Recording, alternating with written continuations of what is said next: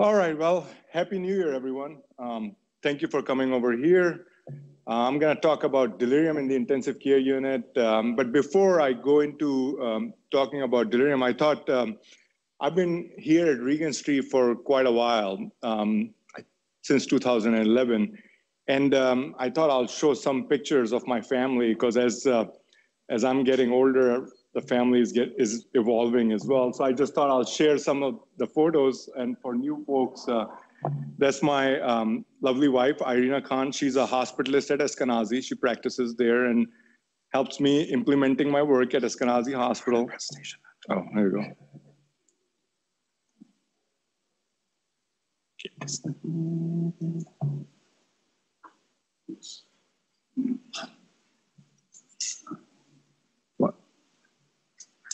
All right, perfect. Okay, yeah, so here we go. And um, these were my kids a uh, few years ago, I think the time when I started somewhere in Regenstrief, the first few years at Regenstrief, and you can see that they're growing, they're visiting the museum, uh, actually they're in the zoo at this time, and you can see a little bit younger version of me with not much gray. But in the last seven, eight years, you can see I'm becoming um, as my wife said, I'm becoming a little bit more distinguished with the gray and sideburns. So I have no um, relevant conflicts um, relevant to this presentation. I get funding to do delirium work. Um, I also get funding from Regenstrief Institute to did some pilots, and I'm gonna talk about that here, and some funding from Mayo. These are the objectives, and uh, you guys uh, have already read them because they were in the CME disclosure um, that was provided to you.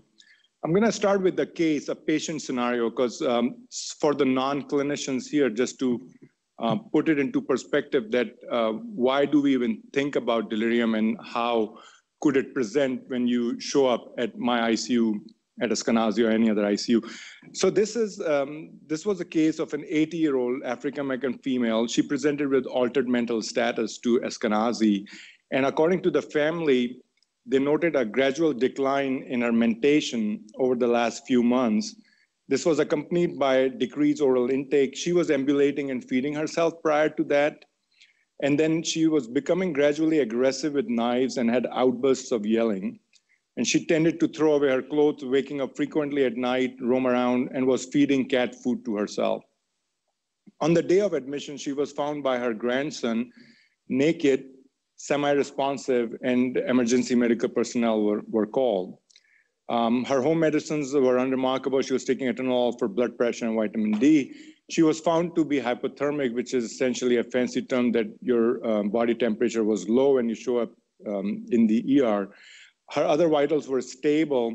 She was not oriented, only, response, is only responding to pain. She had dry mucous membranes, uh, kind of pointing towards dehydration. And then um, her serum sodium level was 186. Now, what does that mean? I mean, our normal sodium level in the body is from 135 to 150. Um, 135 to 145, that's where you want to be. So if you start losing fluid or you don't drink or uh, you just forget to drink or any other such conditions, your sodium can start to creep up. And this is pretty high, 186, and it is in emergent, it's an emergent situation. That's why she was brought to the ER. And this added sodium along with her age and underlying MCI can predispose you to develop altered mental status, which is a frequent complaint coming to the ICU. So she was admitted to our ICU. We started on IV fluids to drop her sodium levels, um, assessed with the CAM ICU for delirium. And I'll talk a little bit about the CAM ICU, which was positive. And then delirium protocol was administered, which include nursing-based uh, interventions and uh, also managing agitated delirium, because one of the features, if you have delirium, you could be agitated, but that is not one of the cardinal features. You can be either agitated or you could be either lethargic. So what exactly is delirium? And you know, I've been talking about it. What is the technical definition? So this is the technical definition of delirium that you have acute brain failure. Essentially, you're not doing what you're supposed to be doing with your brain. You have disturbance of consciousness, you have inattention, you have fluctuation that develops quickly and tends to um, fluctuate during the course of the day. And then I thought how to explain it to somebody. I was in Europe and I was walking on the street and I saw that statue in which you can see that one body is splitting apart. So this is some of the things that the patients have come to us after being admitted to the ICU, and they've said that they felt that their head was splitting or their body was dissociating or they're just seeing things. And and when I looked at that statue, then I looked at the title, and the guy who made it also titled it as delirium. So I was like, you know, so this kind of puts into place that okay, this is not happening to your body, but you're perceiving it that you're something is happening, and you're perceiving it as real. And how distressful it could be when you're in the ICU on a breathing machine with your hands tied down, and you cannot talk to anybody about it, and you cannot even come and move your body anywhere. So what is the prevalence of delirium in the ICU? So if you look at this, these numbers, we collected them a few years ago. And if you look at the ICU population, medical ICU and surgical ICU, if you're 18 and older, up to 28% patients in the ICU have prevalent delirium, and in the surgical ICU was about 24%. But look at this, if you are 60 and older, look what happened to your numbers. They essentially doubled. And then the majority of the demographic getting admitted to the ICU at this time are over 60 years old. And this is going to continue to increase. And I know Titus kind of keeps on saying that whenever I present, I kind of scare people. But all of us sitting in this room, if we don't die in a plane crash on some other calamity, we're getting old and we're going to end up in the ICU before we die. So the number is like 1.8 per average adult American in the United States who are going to end up in the intensive care unit. And if you're in the ICU and if you're over 60, you can look at the prevalence. And this prevalence was people who were not mechanically ventilated. They were both mechanically and not mechanically. So if you're in a mechanical ventilator in the intensive care unit and you're over 60 years of age, there's an 80% chance that you're going to develop delirium at some point in the intensive care unit. Now, how do you diagnose it? You know, what, what, are, what, what are the things available for us? So this is a sedation scale. Before you start assessing people for delirium, you assess them for their level of sedation or level of arousal when they are in the intensive care unit. And focus on this number zero. Zero is alert and calm. So if I look at some of the folks here, I look at Burke, Brian, they are at the level of zero. They're alert and calm and they're, you know, now Burke is going in the negative range and is trying to sleep. so as you keep on eating and you keep on going through my presentation, some of you are gonna start nodding off and that is when you become minus one minus two, minus three. Once you reach no response to voice or tactile stimuli, then you're minus four or minus five, and this is coma. And when you're comatose, you're not eligible for delirium assessment. So keep that in mind. And then as you become agitated, plus one, or you become anxious, like I'm standing in front of all of you, and my heart rate is a little bit up, I'm maybe feeling a little bit anxiety as giving this presentation, I'm at plus one. But then if we keep on going up, and if I don't like your question and start throwing my water bottle and stuff, then it becomes plus four. Um, so that's how the scale moves, the sedation scale in the intensive care unit.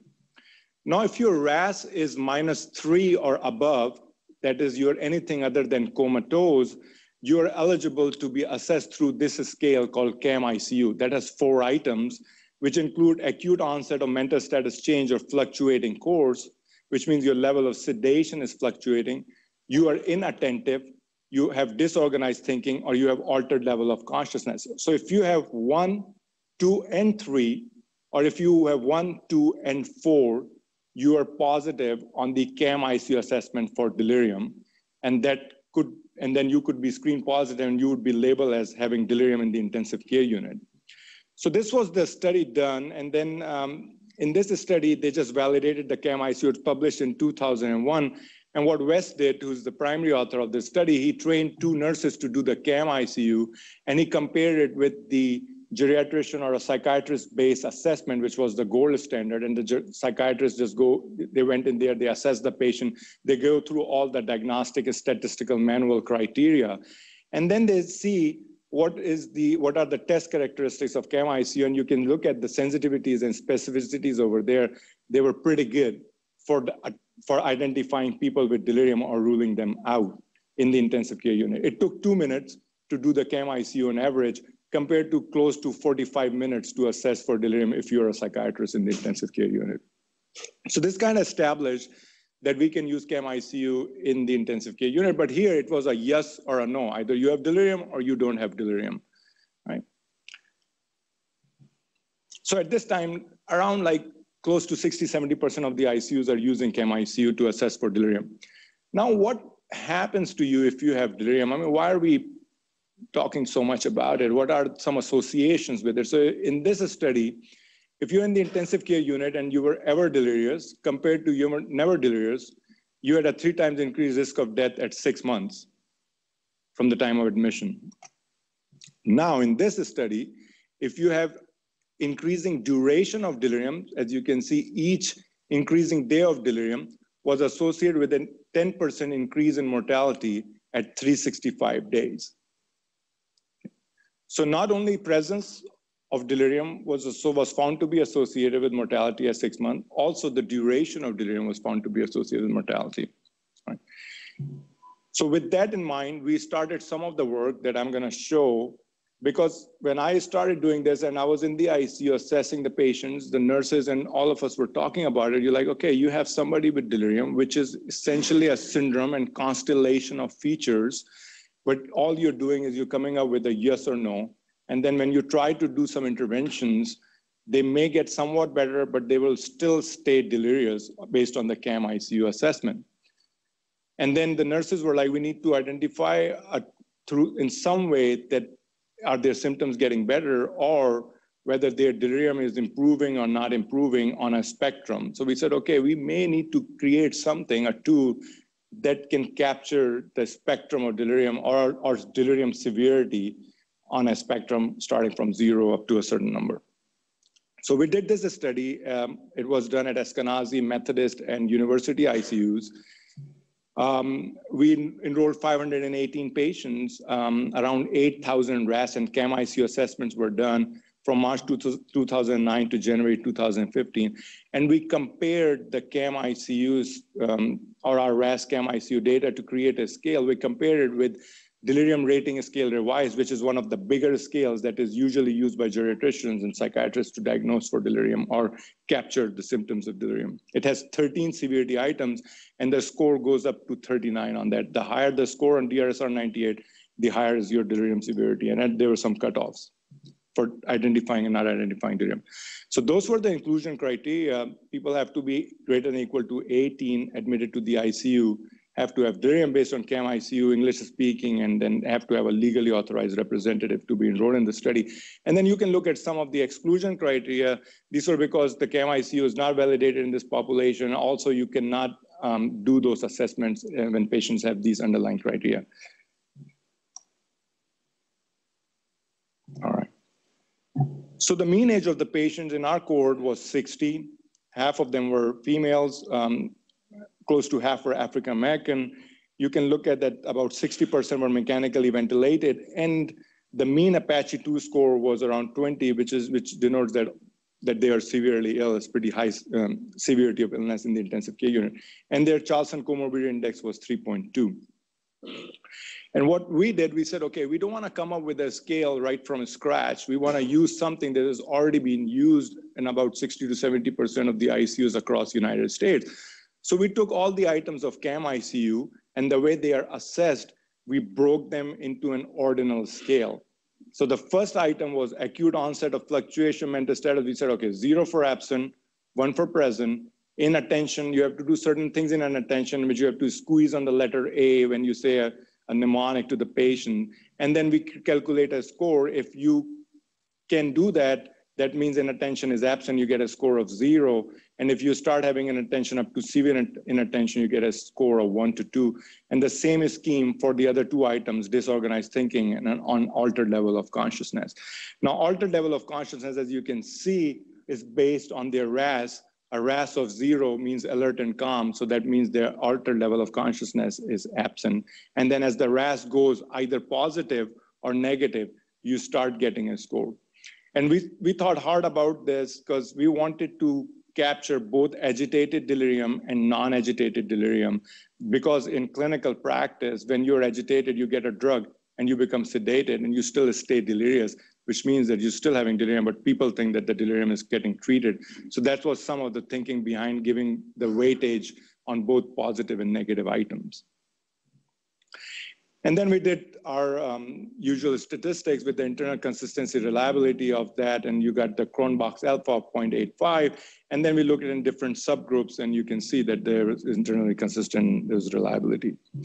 Then we compared it with, um, with DRSR98 with the construct validity, which shows that as your DRSR98 increases, your CAM-ICU increases as well. Your correlation coefficient was found to be 0.67 in the overall population, which kind of tells us that our score is capturing the construct as captured by DRSR 98, although the number of items are less on that.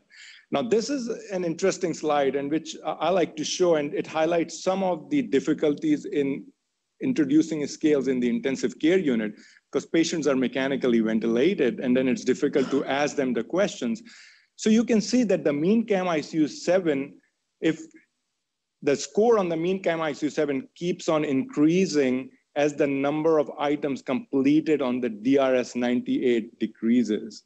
So that means that DRSR-98 in certain group of patients was not able to capture delirium severity, whereas the CAM ICU-7, because that does not require answering and you can assess some of the, the squeeze and the nods, you can see that the patients who were not able to do DRSR-98, the CAM ICU-7 scores were higher in those denoting severe delirium based on this scale. Then we did known groups validity because certain groups may have higher delirium severity. Intubated patients were found to have higher CAM-ICU-7 score compared to non-intubated patients. And as you get older, your CAM-ICU-7 scores increases, which was significant, showing the known groups validity of the CAM-ICU-7 scale. Now, this is a slide that one of the reviewers asked us to, um, to run the numbers, uh, and what he wanted to find out that the CAM ICU-7 is performing at the edges of your RASS scale. Like if you're severely agitated with a score of two and three, or if you're severely sedated with a score of minus two and minus three, how your CAM ICU-7 distribution scores look like. And you can see this is your seven scores, and these are your seven scores. And at both spectrums of sedation, you're getting severe delirium. And that's why the numbers, the way the CAM-ICU-7 uh, and the RASS score was incorporated in the CAM-ICU-7. Now, so those were the test characteristics. Then we say, okay, is the CAM-ICU-7 have any, uh, does the score have any predictive validity for patients? And if you look at it, when you can capture delirium severity through the CAM-ICU-7, it was a, each point increase in CAM ICU-7 was associated with the higher odds of in-hospital mortality with an area under the curve of 0.785. And compared to delirium duration, that area under the curve was better and this was significant. Whereas if you look at delirium severity, each point increase in delirium severity was associated with the lower odds of getting discharged home and it performs as good, a little bit lower than delirium duration. And this was shown um, um, just for visual people, the curves on area under the curve for mortality for delirium severity and delirium duration, as well as for discharge status. Then we say in order to be meaningful, the scale needs to have some cutoffs because whenever you go to clinicians, as, as clinicians, we really want some cutoffs. We want somewhere the scale need to be sliced. And then so we start doing some cutoffs with the predictive validity. And we said if your score is from zero to two, you're not delirious. And then from three upwards, you have delirium with mild to moderate score is three to five and severe is six to seven and the maximum is score of seven. Now, there's a little bit of a caveat here on zero to two. I, we are doing some work now in which we are saying that no delirium means a score of zero and a score of one and two means you have subsyndromal delirium because that is associated with some clinical outcomes and that will be showing later on, which kind of makes sense on a spectrum on that. Right. So this was the other follow. We said, okay, this shows the CAM ICU-7 shows it has uh, good test characteristics in the inpatient setting. What about um, over a long-term follow-up for mortality? And then we did a two-year follow-up among survivors, and you can see if you have a higher CAM ICU severity, you have a lower uh, chances of survival at two years. And these were the patients who survived the ICU stay. So the time point started after survival, uh, surviving the ICU. So this is what um, this was what I wanted to talk about the scale development and doing the scale.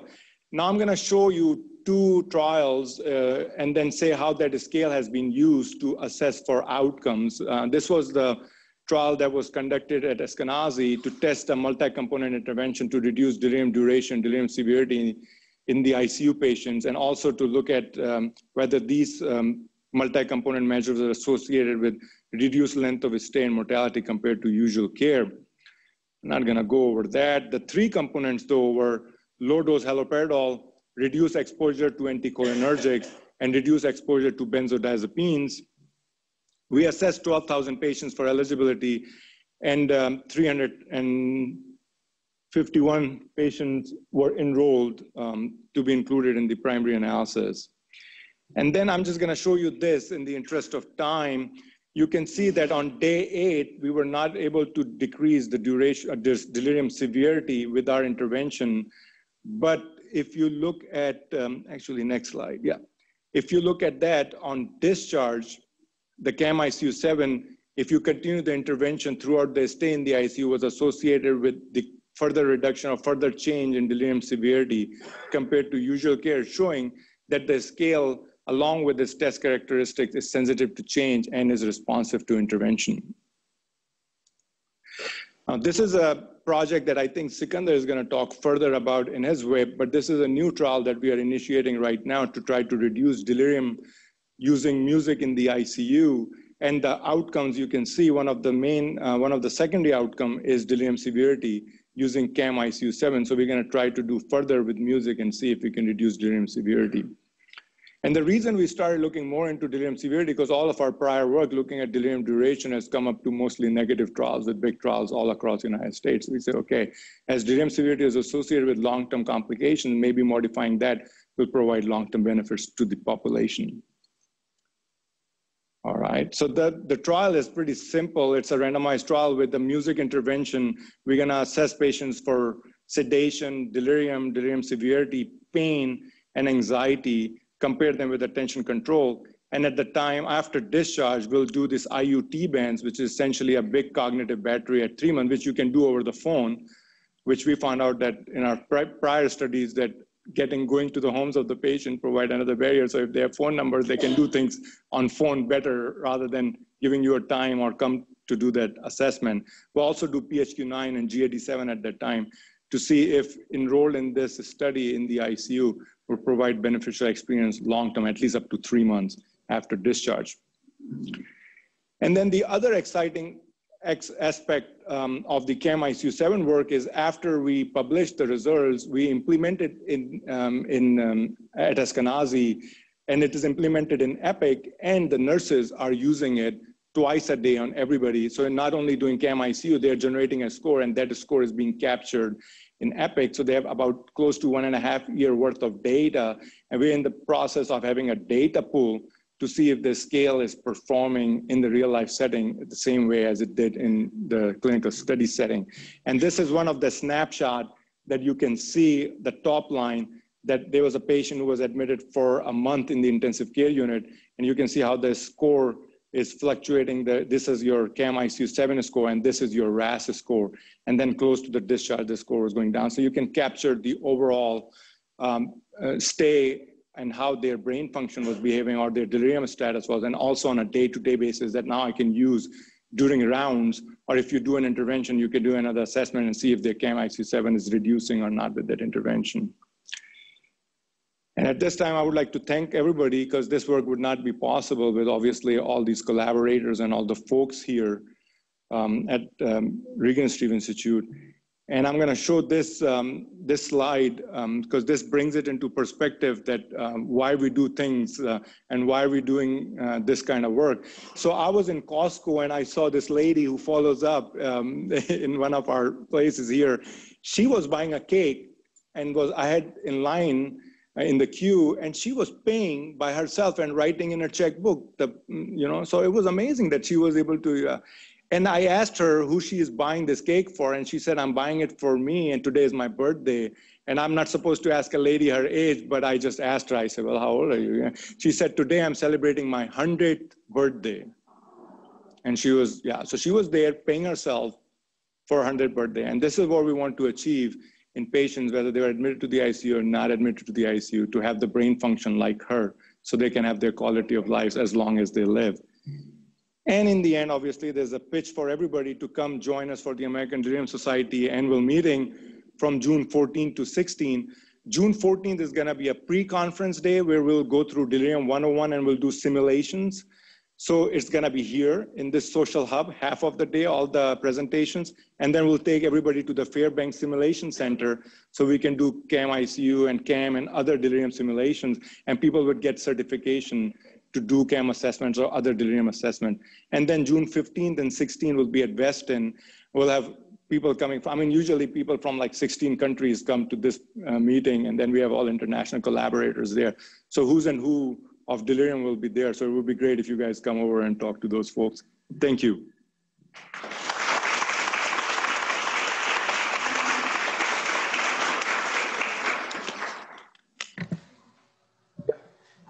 Uh, congratulations on the work. I think uh, um, I, I, like the simplicity of it, and I could imagine that in evaluating delirium, you know, we'll have a resident or med student several years from now say, you know, and their CAM7 score was four. Right. You know, it's that simple. So uh, very, very elegant.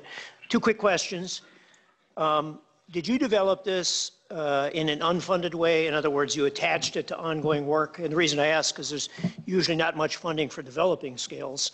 And second, do you intend to keep it public domain or make it proprietary? Because that's always a big decision on a scale. I have my own views on it, but uh, did you attach it to other funded work? And what's your intent on making it public domain versus proprietary? Right.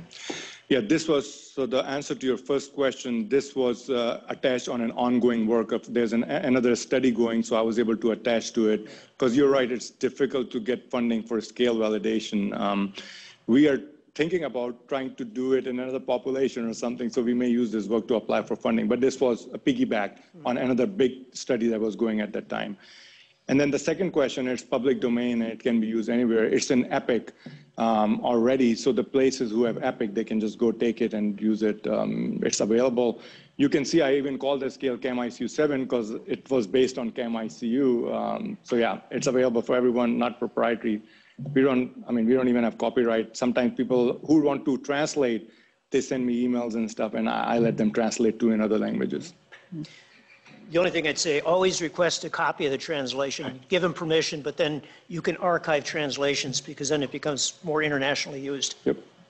Okay. So in addition to age, what are some of the other risk factors for developing?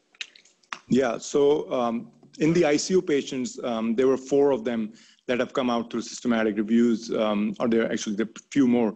But age is one, pre-existing cognitive impairment is another one. Um, uh, history of hypertension could do that. Um, there's some data on smoking. Uh, and then if you are in the ICU, each prior day of coma is, is a risk factor for developing delirium next day.